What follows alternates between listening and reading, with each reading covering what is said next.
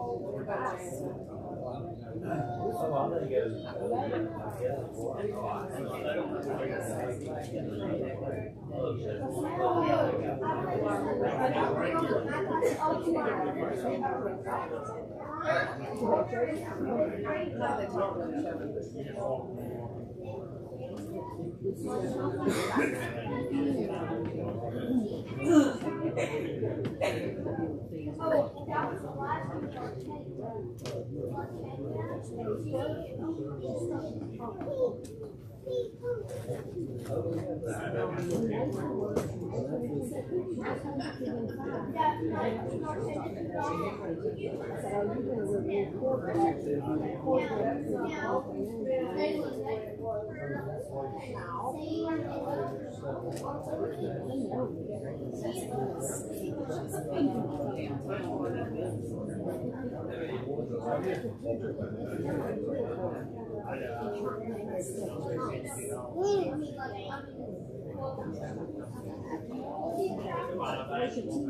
Lord, I lift your name on high. Lord, I love to sing your praises. I'm so glad you're in my life. I'm so glad you came to save us. You came from heaven earth to show the way from the earth to the cross. My debt to pay from the cross to the grave, from the grave to the sky. Lord, I lift your name on high.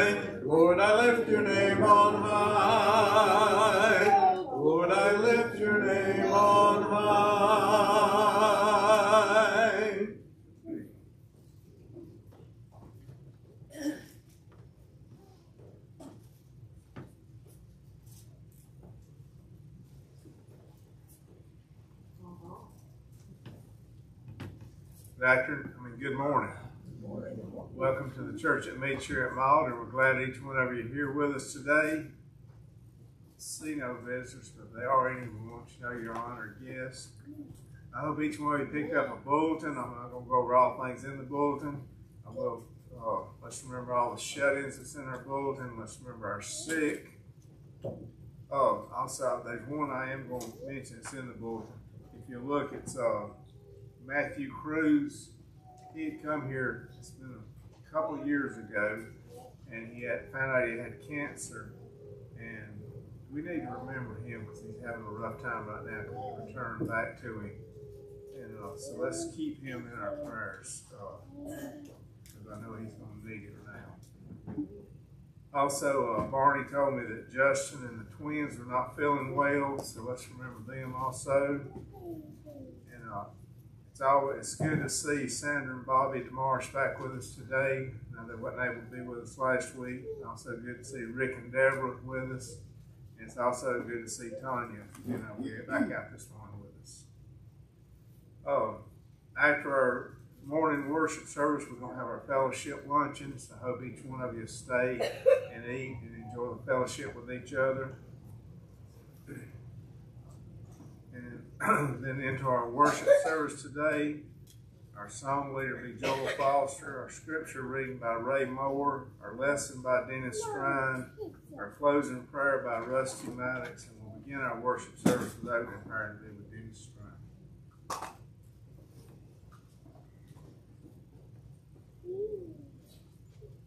You bow with me, please? Our God and Father in heaven, we are so thankful, Lord, for the blessing of being able to be here this morning, fellowship with one another, and more importantly, Lord, to worship you in the spirit and truth. You have blessed our lives so richly.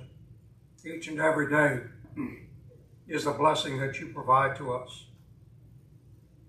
A new day each and every day to get things right, to make things right, to improve ourselves.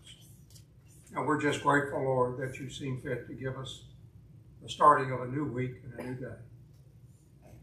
We're mindful, Lord, of, of those of our number who have been battling illnesses for a long time. We're grateful that some are here this morning. We just pray that you'll be with all of them, continue to heal them, watch over them, comfort them. For our brother Matthew, we pray that you will be with the doctors who are tending to him, that they will be able to get things all under control with the medications that they are providing, so that he can avoid the surgery that could be in his future. We're just grateful, Lord, that you are hearing and listening to our prayers, and we're just asking, Lord, that you answer them. Answer them, Lord, in our time frame. Answer it, Lord, when we would like to have them, but we understand and we know that it will be your will when these things are done. We thank you for our opportunities. We pray that you will help us to make the most of them. We pray that you will continue to be with us as we worship you. May our hearts and our minds be kept at bay on the things that are outside and to focus entirely, Lord, this time on you and what you have given to us and done for us. We're thankful, Lord, for the blessings of life itself, for our children, for our grandparents, for our mothers and fathers, for our brothers and sisters in Christ. We truly are a family. Help us, Lord, to be that positive influence for those around us and for our nation. For without the influence of good Christian people, our society will decay beyond repair. But with that being said, Lord, even today, we pray that you will send your Son quickly. Take us away from this evil, Lord, and pray that you will see fit to give us the reward you have promised. And while we try, Lord, we often fail. And in those failures, Lord, we ask for your forgiveness. Help us to do better. Continue to be with us each and every day and to guide our steps in all that we do and say. In your Son Jesus' name we pray. Amen. Amen.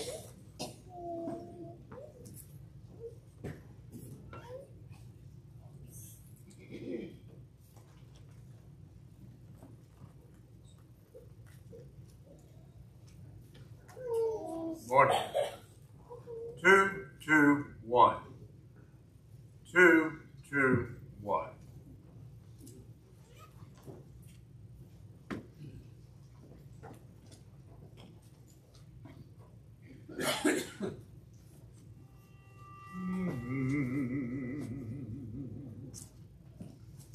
In loving kindness, Jesus came, my soul in mercy to reclaim, and from the depths of sin and shame, through grace he lifted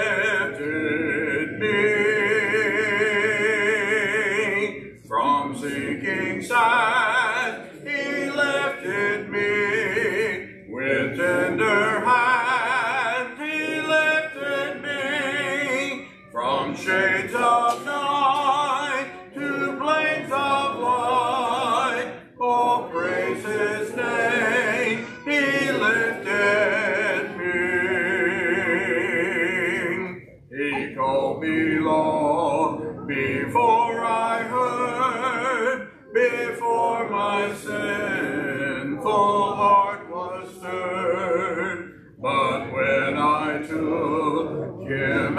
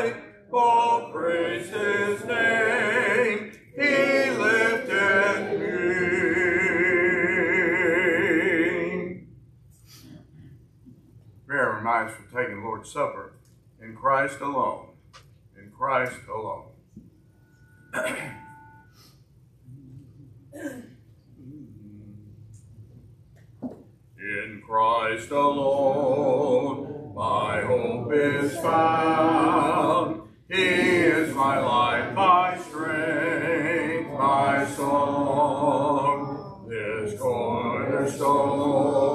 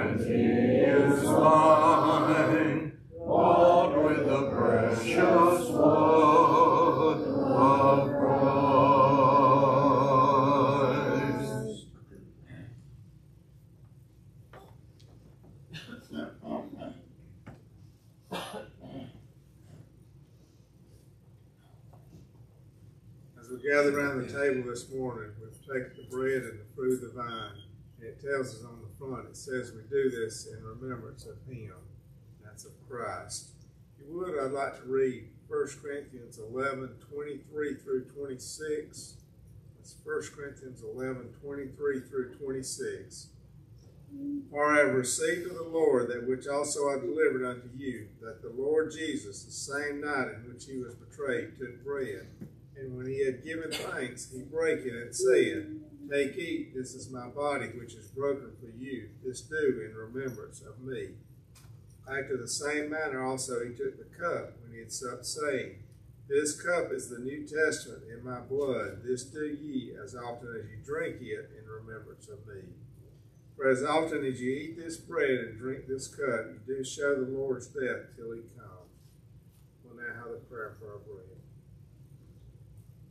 Dear Heavenly Father, we pray that we'll keep our thoughts focused on Christ as He suffered and bled and died in our stead as we prepare now to partake of this, the bread, which does represent His body. May we be found pleasing as we partake. In Christ's name we pray. Amen.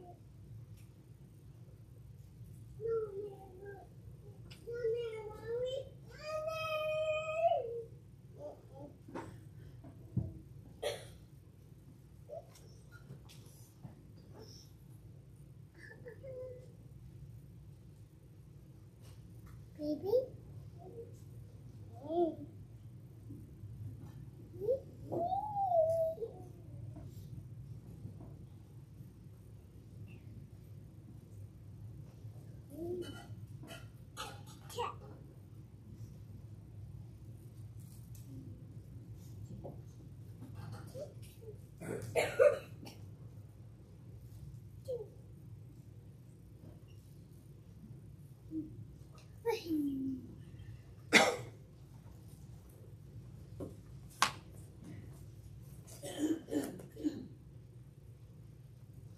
we'll continue prayer for the food line. Please pray with me. Almighty God Jehovah, our Father in heaven, we thank you for the gift of thy Son was taken and nailed to that cross and raised up. And in death, soldiers came and pierced his side. Out forth flowed the blood. The blood that washes away our sins. As we drink of this cup, we remember the sacrifice that our Lord and Savior made on our behalf. And we give thee eternal thanks. In Christ Jesus' name, amen.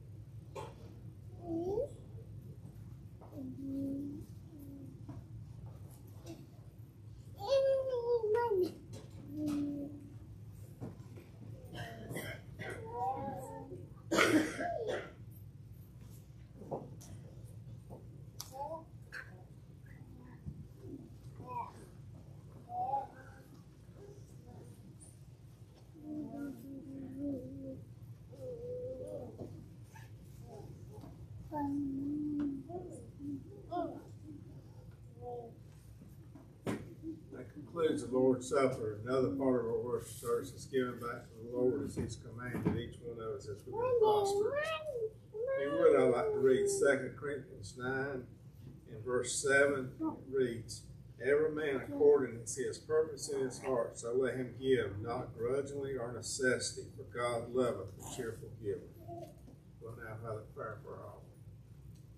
Our kind Heavenly Father, we're thankful for this opportunity that we have to give back a portion which thou hast given unto us. Let us all do this in a manner pleasing unto thee. In Christ's name we pray.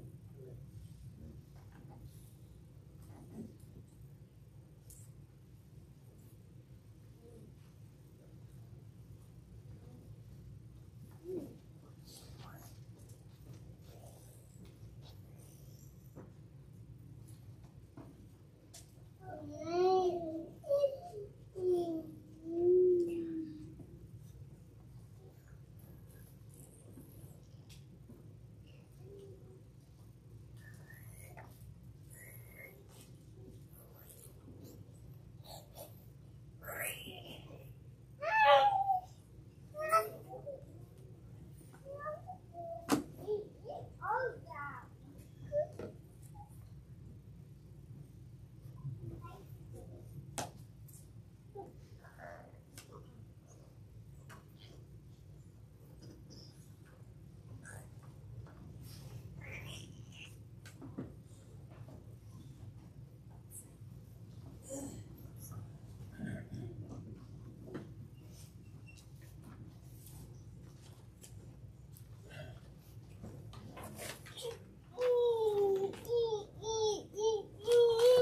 Right in the corner where you are. Right in the corner where you are.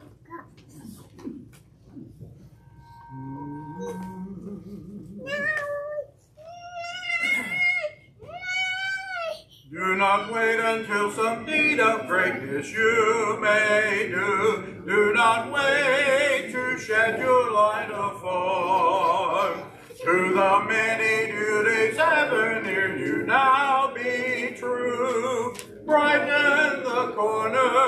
where you are. Brighten the corner where you are. The corner where you are. Someone far from harbor you may guide across the. Brighten the corner where you are. Just above the clouded skies that you may help to clear. Let your narrow self your way debar.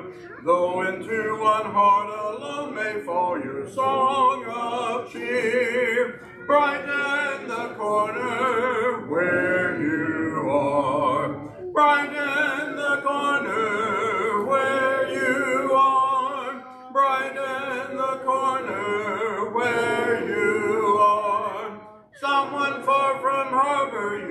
guide across the bar. Brighten the corner where you are. Here for all your talent you may surely find a need. Here reflect the bright and morning star. Even from your humble hand of bread of life may feed. Brighten the corner where you are. Brighten the corner where you are. Brighten the corner where you are. Someone far from harbor you may guide across the bar. Brighten the corner where you are. Waiting for my God. Waiting for my God.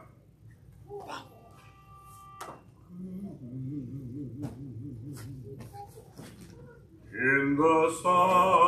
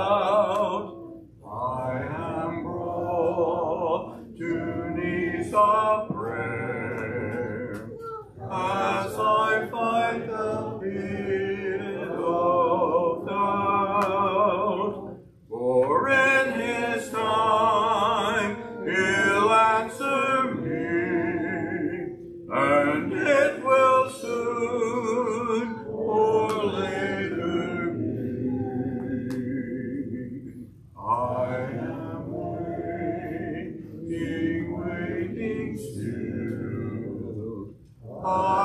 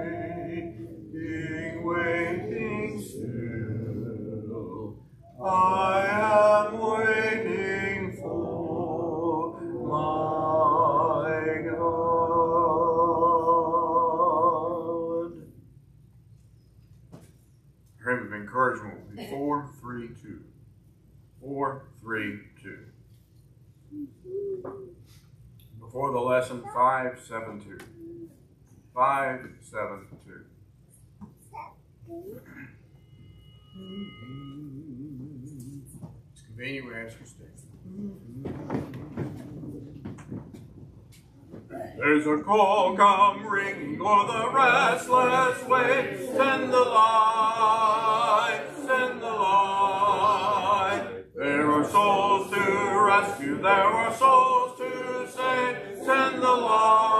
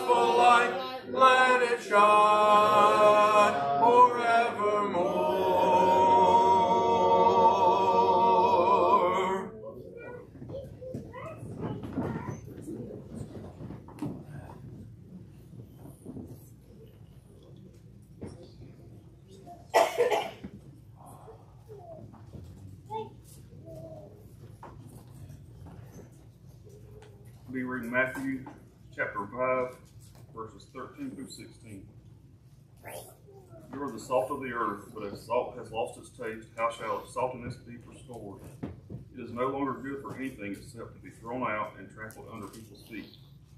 You are the light of the world. A city set on a hill cannot be hidden. Nor do people light a lamp and put, put it under a basket, but on a stand, and it gives light to all the house. In the same way, let your light shine before others, so that they may see your goodness, good works, and give glory to your Father who is in heaven.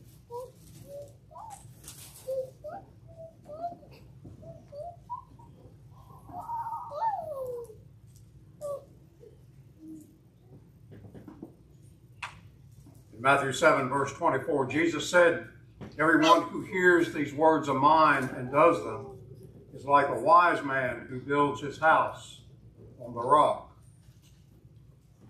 When we, our spiritual house is being beaten by the storms of life, our house will stand if we put into practice the things that Jesus has taught. We've heard many times that we are the salt of the earth and the light of the world. That is what Jesus is getting to in Matthew chapter 5. In verse 1, it says that seeing the crowds, he went up on the mountain. And when he sat down, the disciples came to him. Those who are the salt of the earth, those who are the light of the world, are those who are poor in spirit, those who mourn, the meek, those who hunger for thirst, righteousness, the merciful, the pure of heart, peacemakers, those who are persecuted for righteousness' sake. These are the ones who influence our world. These are the ones who make our world a better place to live in. You see, salt and light are good influences. The word influence was originally used in reference to the ethereal fluid flowing between the stars that held them into place. This was alluded to in Job chapter 38 and verse 31. Later on, man began to think that this fluid flowed from the stars down to man and affected the attitudes and actions of man. This is where we get our astrology from. But influence is the act, the process, or the power to produce an effect without any apparent force or direct authority. And there are many who feel and believe that they have no influence at all. But this is not true. Every one of us has influence.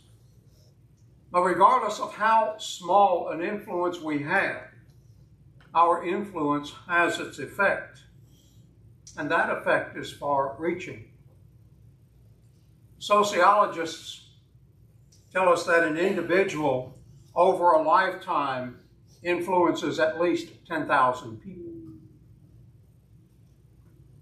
That's either directly or indirectly. They also say that their influence will continue to be actively felt for about 150 years or more. Now, we're not talking about famous people. We're not talking about people like George Washington or Abraham Lincoln or Dr. Martin Luther King, but ordinary people like us. You know, Eve had only one person to influence. And yet her influence changed the world. And we still see the effects of that influence. We can change our influence, but we can't stop it. We are going to influence others, but the question is how? Will our influence be for good or for evil? Will we be the salt and the light? Or will we lead others in the wrong direction? Friends, there's nothing more impressive than the sheer dynamic influence of a pure Christian heart. Being the salt of the earth, we are distinctive. Salt is a positive force. You can't ignore it. It influences everything it touches. And we can tell when we're eating our food if there's any salt in it or not. Salt is never neutral. Jesus told his disciples that they are like salt. When salt comes to town, people find it out. When it leaves, the people will miss it. Peter reminds us in 1 Peter chapter 2, verse 9, that we are a chosen race, a royal priesthood, a holy nation, a peculiar people. And we are to be distinctively different. Not just by the church's name, not by worship without instruments, or a distinctive church government, but by being the salt of the earth and the light of the world. Being good stewards of our personal influence. When we are these things, people will notice. We pretty much understand that salt is a preventative and it is a preservative. It is a purifying agent and it imparts its wholeness, wholesomeness on whatever it touches. Salt as a preservative is not used as much as it used to be. We have refrigeration to take care of the things uh, that used to be salted and stored away. There was a time when meat and certain vegetables were kept from spoiling by salt or a salt brine. Those who Jesus was talking to knew exactly what he was saying. What would our country be like if you removed all the influences for good? Remove the Christian father and mother from the home. What kind of home would you have? Is that what we're seeing today? You remove godly people out of the church, and what do you have? Feuding and fussing. Get rid of godly people out of a nation, and what happens? Friends, Noah's family was saved because of his influence.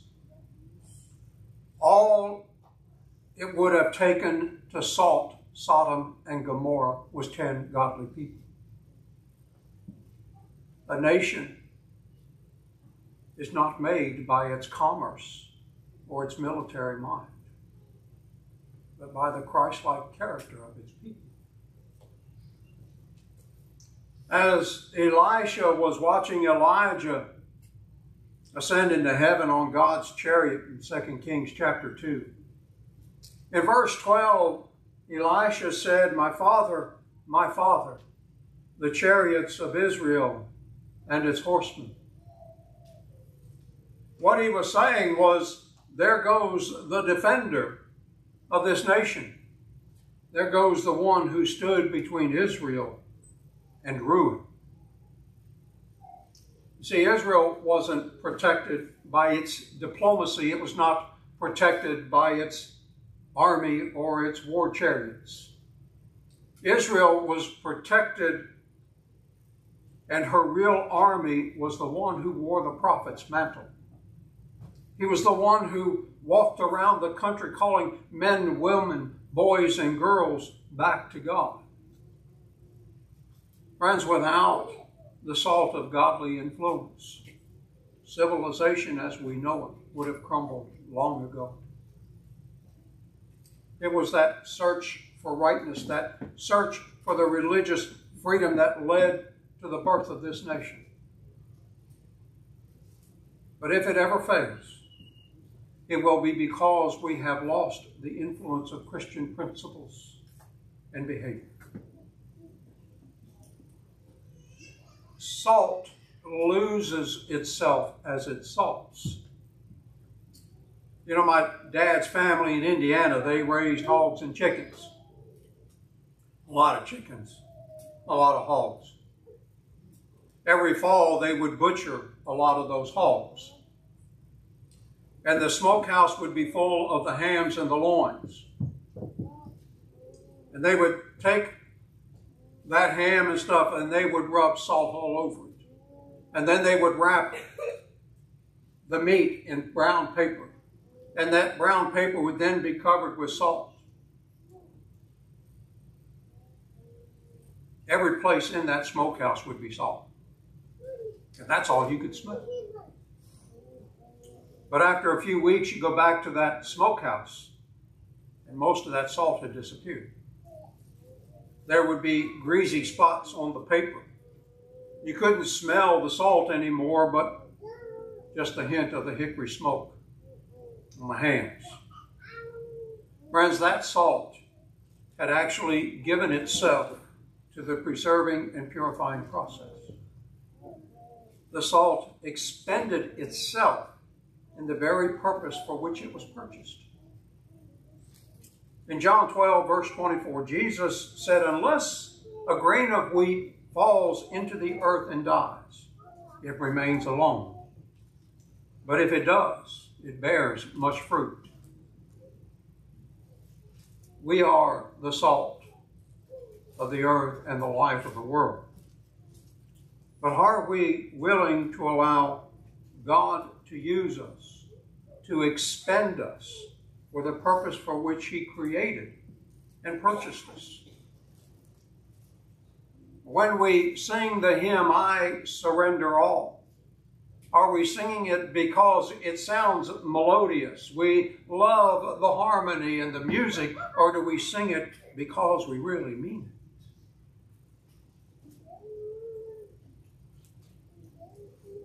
In verse 13 of Matthew chapter 5, Jesus said that the salt can become useless when it loses its taste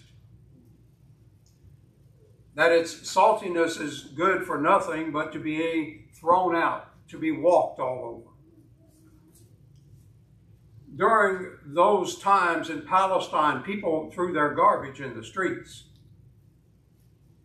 You know, some of that garbage would be eaten by the hogs. But these people understood exactly what Jesus meant by throwing that salt out in the street after it became useless. Now, this is what Jesus was talking about. We can pollute our influence for good to the point that we are useless as an influence for God and His righteousness. Chemically speaking, salt is sodium chloride. Sodium chloride cannot lose its taste but it can be polluted to the point to where it does become useless. The same thing can happen to us. That's what happened to the Pharisees. In Matthew 23, verse 15, Jesus saying this to the Pharisees, he says, For you travel across sea and land to make a single proselyte. And when he becomes a proselyte, you make him twice as much a child of hell as yourselves. Well, let's look at the churches of Christ. Revelation 2 and verse 4, the church at Ephesus. They lost their first love. They lost their saltiness. In chapter 3, verse 16, the church at Laodicea. They became lukewarm. They lost their saltiness. They were coming to church. They were worshiping God as prescribed in the scriptures, but that's all they were doing. Of those seven churches of Asia, none exist today in its original form. They lost their saltiness.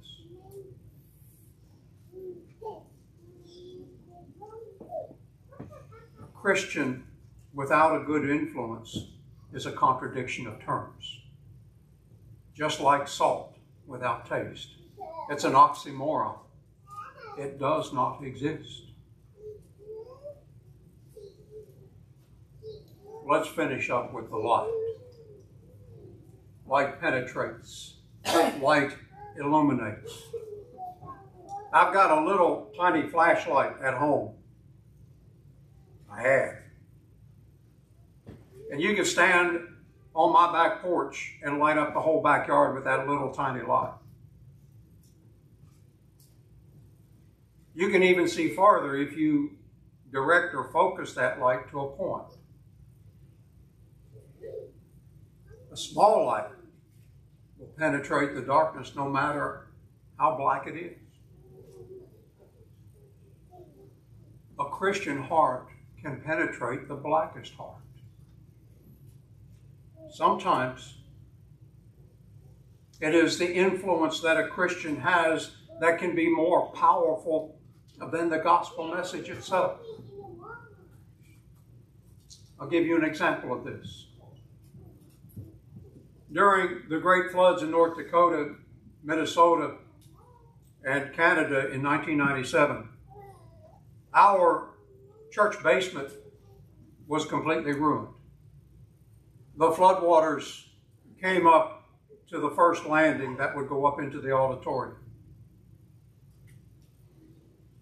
We couldn't meet there. And so we were meeting at the chapel on base. And we met there long enough for us to be able to get back into our building. And one of the members was married to a man who attended sometimes but never obeyed the gospel. But during this recovery period, he was influenced.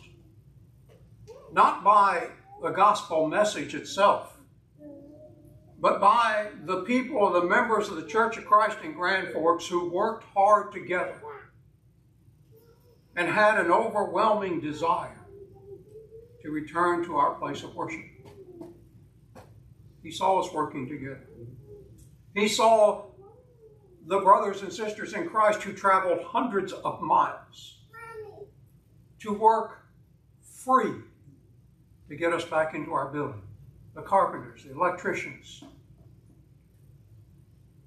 It wasn't long after we returned to the building and started worshiping that he obeyed the gospel.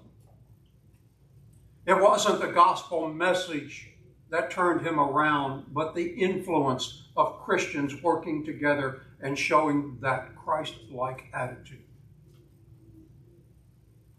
This is the same thing that Peter alludes to in 1 Peter chapter 3 in the first five or six verses or so, where he talks about wives and husbands, the influence that we have on one another. And the other thing about the light of influence is that we must let our light shine, but never shine our light. And there's a difference. The Pharisees, they loved to shine their light. They liked to go out into the streets and pray where people could see them. They liked to have people precede them blowing horns and creating a racket so that people would come and see them giving to the poor. They didn't care about the poor, they just wanted to be seen caring about them. They loved the chief seats in the synagogues. This is the difference between letting our light shine and shining our light. Jesus is the light and we are the reflectors. Just as the sun is the light and the moon reflects that light, the moon does not give off any light. It reflects it. It's just a dark hunk of rock. And the world can tell the difference if we are shining our light or letting our light shine shining our light is a negative influence. Reflect, reflecting the light of Christ is a positive influence. The way it should be is the way that Paul looked at it in Galatians 2 and verse 20. I'm not going to read the verse, you're familiar with it, but I will paraphrase it. Paul said, When you look at me, you're not seeing Paul anymore, you're seeing the Christ who lives in me. And that's what we should be seeing in one another Christ that is living in us. Our influence is a positive thing. And I pray that we will personally resolve to use it in a way that we will maintain our saltiness and our life.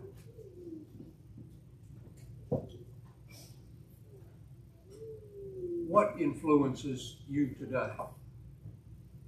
Is it the outside world and everything that it has to offer? There's one thing about that influence, and while it, in and of itself, it may not be evil, but when this life is over, where is it? It's gone. It's not going to be loaded in our caskets. It's not going to be some Egyptian pharaoh burial where they're going to put all that stuff in a tomb with us so we can take it with us. It's gone. All the pleasures of the world when it's done and over, we realize it's not pleasurable at all. Is that where we stand today? If you're not a child of God, what would it take to influence you to become that child of God? Would it be the light that is shining, reflecting off of all of us to influence you to make that decision? If it's not the gospel message, could it be that light and the influence of the brothers and sisters here? But it is a choice that must be made. Because if the choice is never made, one day it will be too late. There will be no second chances. If it is your desire to obey the gospel today, we want to give you that opportunity now. And if you are a child of God, and if you've lost your saltiness, if, if your light has become dim to the point it looks like the headlights of a car whose battery is about to die, and you need to be reinvigorated. There's a way that you can be influenced to change. We want to do that today through our prayers. If anyone has a need this morning, we pray that you'll come us together. We stand and we sing.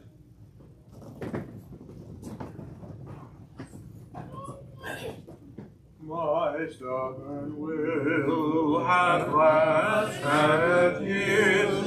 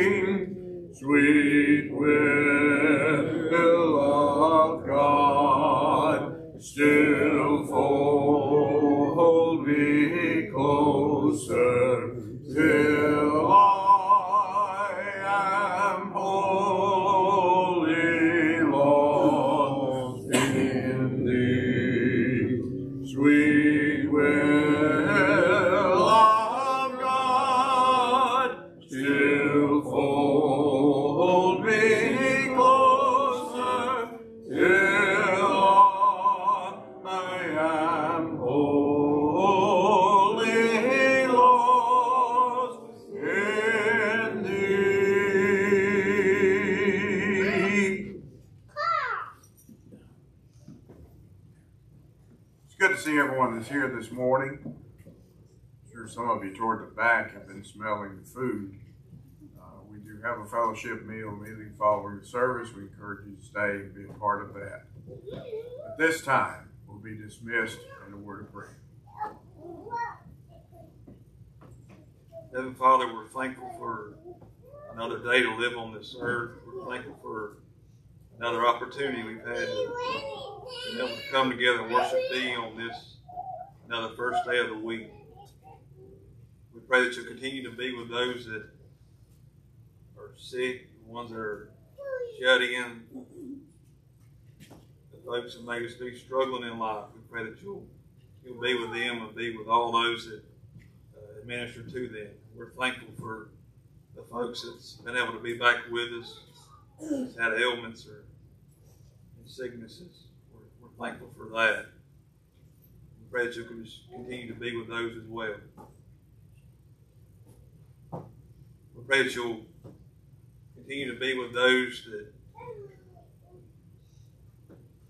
that watch over us and protect us in each and every way. We're thankful for them and we're thankful for their families. We pray that you can continue to strengthen and comfort and guide them each and every day. We pray that you'll be with us now as we prepare to leave this place. Just keep us safe as we leave here and pray that you'll bring us back at the next appointed time. So forgive us when we fall short. It's in Christ's name we pray. Amen. Amen.